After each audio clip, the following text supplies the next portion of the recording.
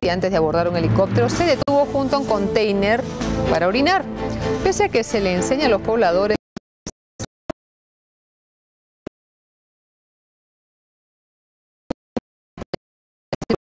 internet y ya se están convirtiendo en las